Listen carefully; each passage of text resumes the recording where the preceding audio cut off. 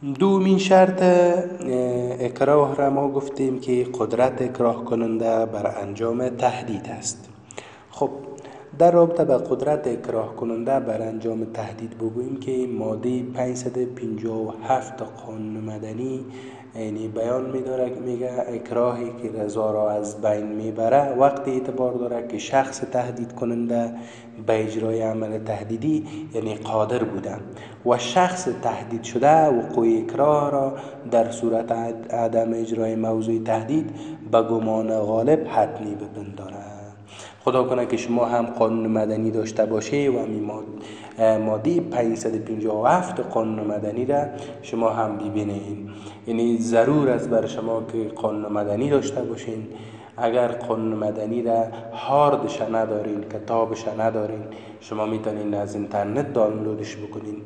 خب به هر صورتش نتیجه را که ما از ماده 557 قانون مدنی که در رابطه به قدرت اکراه کننده بر انجام تهدید است این نتیجه را که ما می‌گیریم. این است که یعنی اکراه در صورت باعث معیوب شدن اراده و فساد عقل میشه که تهدید کننده قادر به انجام عمل تهدیدی باشد پس سوالی که در این رابطه بر ما مطرح میشه ای است مثلا هرگاه شخص تهدید کننده یعنی قادر بر انجام عمل تهدیدی نباشه اما امی تهدیدش در, در شخص تهدید شده یعنی ترس را ایجاد بکنه.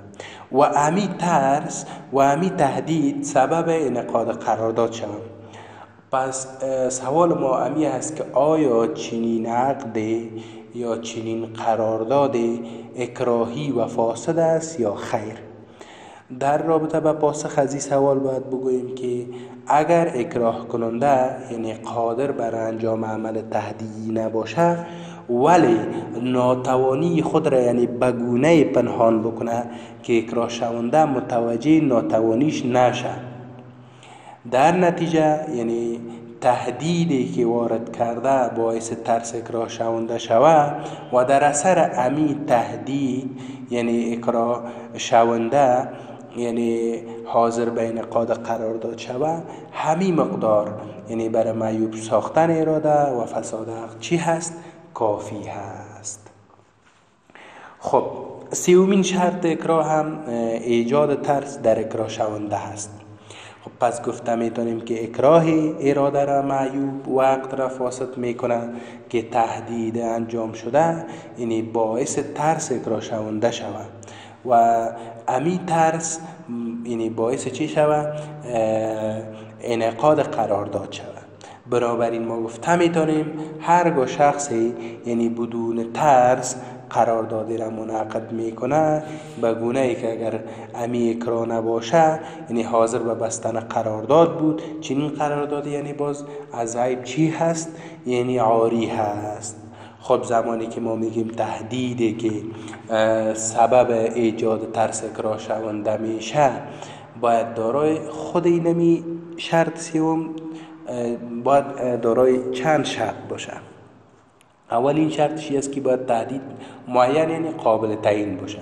مانده از که اکراه کننده بگویه اگر قرارداد نبندی تو را به قتل میرسانم یعنی باز در ما تهدیدشی بکنیم معین بکنیم و قابل تعیین. باشه یک مثلا دومین مسئله ای است که تهدید یعنی به قدری بزرگ باشه که باعث ایجاد ترس اکراه شونده شود. و خود اکراه شونده یعنی به انجام معامله وادار شود. خب برای یعنی سنجش بزرگی تهدید باز ما دو میار داریم. یکی ما میار نوعی داریم دیگه ما میار شخصی داریم. خب میار نوعی چی هست؟ میار شخصی چی هست؟ اول میایم روی میار نوعی صحبت می‌کنیم. در رابطه با میار نوعی بگوییم که در میار نوعی یعنی شخص عادی میار است. یعنی به این معنا که بزرگی خطر یعنی به اندازه باشه که شخص عادی از او بترسه و در اثر امی ترس ایجاد شده حاضر بین قرار قرارداد شود. دومی که دومین میار هم شخصی را گفتیم نه؟ خب میار شخصی به چی معنا؟ میار شخصی به این معنا یعنی بزرگی تهدید نسبت به شخص تهدید شده باز یعنی سنجیده میشه. در این میار یعنی بزرگی خطر از یک شخص با شخص دیگه باز فرق می‌کنه. متوجه باشین.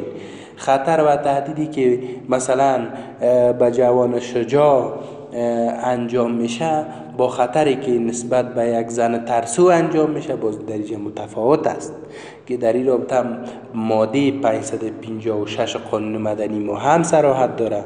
میگه اکرا نظر به اشخاص سن حالت اجتماعی اوصاف و اندازه تاثیر آن یعنی منحیث شدت و خفت نوع تهدید فرق می‌کنه.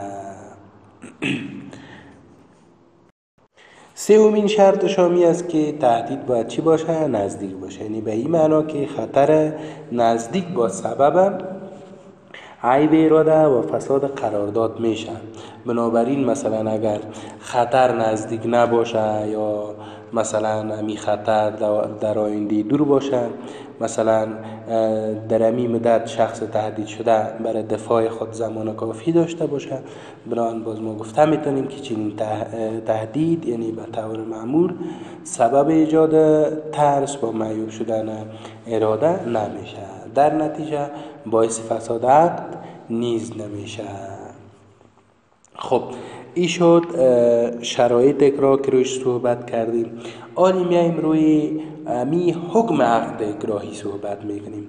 خب یعنی اگر مثلا عقدی که توسط اکراه منعقد میشه چی حکم داره در رابطه با این بگوییم که عقدی که توسط اکراه منعقد میشه یعنی عقد درست نیست بلکه عقد چی هست؟ فاسد هست. یعنی عقد ما زمانی که یک شخص میآید با ته... یعنی با اکراه یعنی عقد را بالا یک شخص منعقد می سازه در اینجا عقد یعنی صحیح و درست نیست بلکه عقد چی هست؟ فاسد هست. خب در این رابطه ماده 560 قانون مدنی ما هم سراحت داره میگه عقد شخص تهدید شده به صورت فاسد منعقد میگردد. هرگاه بعد از رفع تهدید شخص تهدید شده طور سره یا زمینی با اجازه دهد عقد صحیح میگردد. یعنی اصلی است که عقدی که با اکراه منعقد میشه فاسد است. یعنی اگر باز بعد از اونمو رفع تهدید اونمو شخص تهدید شده چی به شکل مستقیم بیه چی به شکل کنایه و زمینی بیه عقد را اجازه بده باز بعد از وقت چی هست؟ درست است. یعنی یک چیز باید بدانیم که عقدی که توسط اکراه منعقد میشه باطل نیست بلکه فاسد است. ما خو انواع عقود را داشتیم دیگه. ما عقد فاسد داشتیم عقد باطل داشتیم. اینو را دیگه شما خواندین. ضرور نیست که من اینجا براتون توضیح بدم. خب. بعد از حکم عقد اکراهی ما روی اشتباه یا غلطی صحبت می‌کنیم. اول میایم خود اشتباه یا غلطی را تعریف می‌کنیم که چی هست. بعد روی انواع اشتباه انشالله صحبت خواهیم کرد. خب در رابطه به مفهوم اشتباه بگوییم که غلطی یا اشتباه عبارت از تصور خلاف واقعی که سبب بستن قرارداد شود. یعنی به صورت آسان اگر ما بگوییم اونمو اشتباه و غلطی نمی است که اونمو تصرف خلاف واقعی که سبب بستن قرارداد میشه خب در قانون مدنی ما واژه غلطی آمده. همیش به جای اشتباه یعنی از واژه غلطی استفاده شده. ولی غلطی خودش که است؟ اصطلاح عربی هست نه فارسی. معادل فارسیش باز دیگه اشتباه هست یعنی در حقیقت ما گفته می‌تونیم که اشتباه همو غلطی و غلطی همو اشتباه هست یعنی قسمی که گفتم تصور خلاف واقعی که سبب بستن قرارداد میشه. این ما میگیم اشتباه یا غلطی. بعد از این ما انواع اشتباه داریم. بر اساس قانون مدنی ما سه نوع اشتباه وجود داره ما یک اشتباه مانع عقد داریم دیگه اشتباه غیر موثر داریم و همچنان اشتباه موثر یا معیوب کننده اراده داریم. انشالله روی هر کدام از اینا صحبت می‌کنیم. خب اول میایم از امی اشتباه مانعیت شروع می‌کنیم.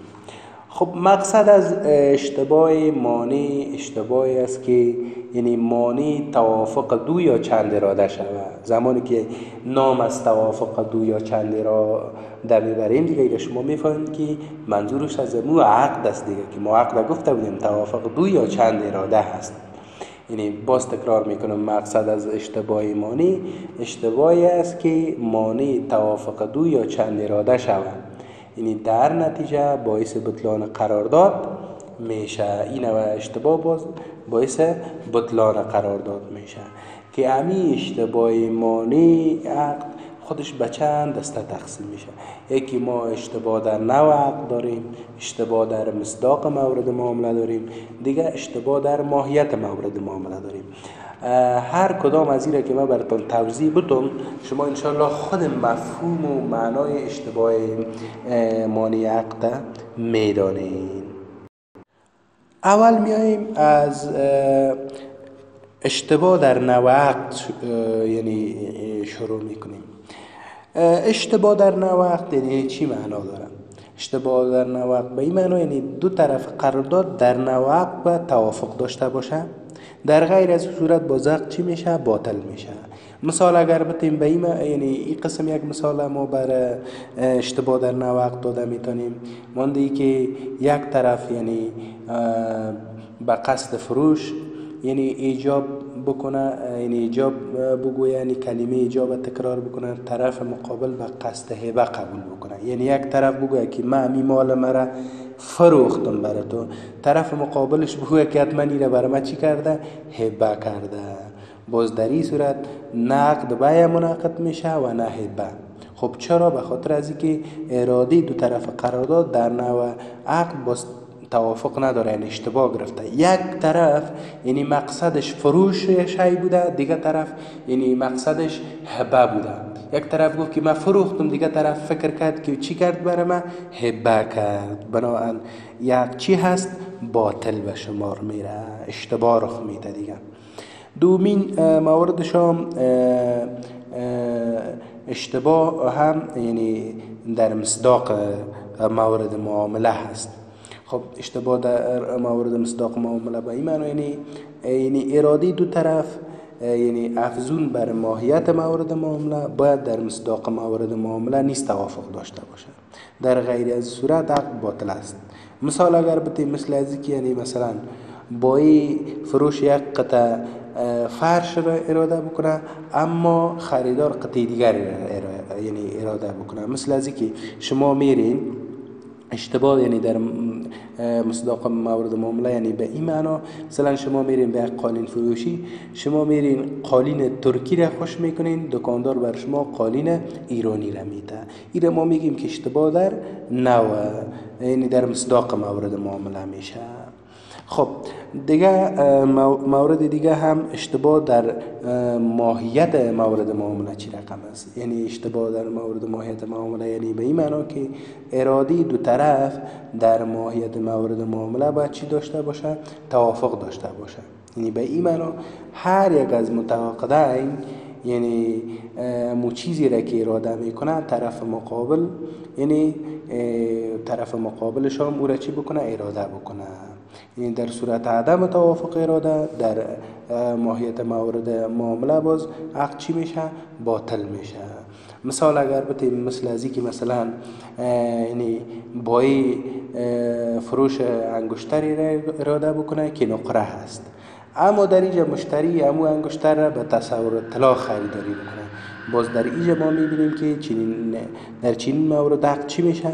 باطل میشه. خود خب چون چی هست؟ در ماهیت مورد معامله چی کرد؟ اشتباه صورت گرفت.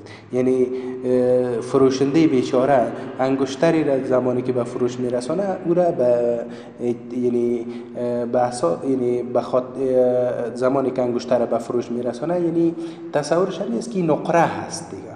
ولی مشتری فکرشی است که قدر ارزان که خریده حتما دیگه این طلا هست. زمانی که دو طرف اشتباه می‌کنه در نقره و طلا در حقیقت دیگه چی هست؟ اشتباه در ماهیت موارد معامله صورت می‌گیره. بناهن عقدی که منعقد میشه عقد چی هست؟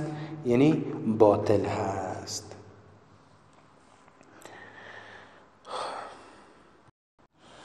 دومین نوع از اشتباه هم اشتباه غیر مؤثر هست. خب اشتباه غیر مؤثر اگر تعریف بکنیم میگیم اشتباه غیر مؤثر اشتباهی است که در انعقاد قرارداد و صحتش این تأثیر نداره. باز تکرار می‌کنم اشتباه غیر مؤثر اشتباهی است که در انعقاد قرارداد و صحتش یعنی تأثیر نداره. مانده مثلا اشتباه در حساب یا در نوشته. مثال لوازی را اگر بتیم مثل ازی که مثلا شخصی ده را در موتر را که هر را داره مثلا به 500 هزار افغانی خریداری بکنه که مجموعش میشه مثلا 5 میلیون افغانی ولی در محاسبه اشتباه میشه یعنی به عوض 5 میلیون افغانی 50 هزار افغانی نوشته میشه. یعنی یک صفرش کم میشه. گیره باز ما اشتباه مادی و یا نوشتهی میگیم که غیر مؤثر است. یا امی رقم مثلا امی شخصی که مثلا فکر بکنین که امی در آدم موتر خریده که هر ارادش مثلا به قیمت 500 هزار افغانی در نوشته به عوض 5 میلیون یک نقطه دیگه اضافه میشه این میشه 50 میلیون. این بناهن ما میگیم که اشتباه چی است؟ اشتباه یعنی اشتباه یا غلطی در نوشته هست. بناهن قانون مدنی ما هم میگه که اشتباه چی هست؟ غیر موثر است. شما مراجعه بکنید به ماده 567 قانون مدنی. میگه غلطی حسابی یا مودی در ساعت عقد تأثیر نداشته و تصحیح آن حتمی می باشه یعنی باز ما می‌تونیم که دوباره او را چی بکنیم؟ تصحیحش بکنیم. امیر رقم شما اگر مراجعه بکنین به بند اول ماده 34 قانون قراردادهای تجارتی و فروش اموال که بند اولش میگه اشتباه در محاسبه یا, یا تحریر بر قرارداد اثر نداشته و قابل تصحیح می باشه اینی کدام مشکلی ما نداریم در اشتباه غیر موثر مثلا به عوض 5 میلیون اگر 50 هزار نوشته بکنیم دیگه به عوض مثلا یعنی در یک عدد مثلا در 50 هزار دو صفر اضافه شوه یا سه صفر اضافه شوه یا دو صفر سه صفر کم شوه 50 هزار پنج هزار نوشته بکنیم. در اینجا کدام مشکلی دیده نمیشه. برای گفته می‌تونیم اشتباه غیر موثر است. بعد از اشتباه موثر ما ببخشین بعد از اشتباه غیر موثر ما اشتباه موثر داریم. خب اشتباه موثر چی رو میگم؟ اشتباه موثر اشتباهی است که سبب از, از بین رفتن اراده نمیشه. بلکه تنها اراده را معیوب می سازه و کسی که در این اشتباه واقع میشه می‌تونه قرارداد را چی بکنه؟ فسخ بکنه. خب روی شرایط اشتباه موثر انشالله در جلسات بعدی ما صحبت خواهیم کرد. درس ما در میجه پایان پیدا می‌کنن. تا جلسه بعدی را همه شما را والله بی نیاز میسپارم. السلام علیکم و رحمت الله و برکاته.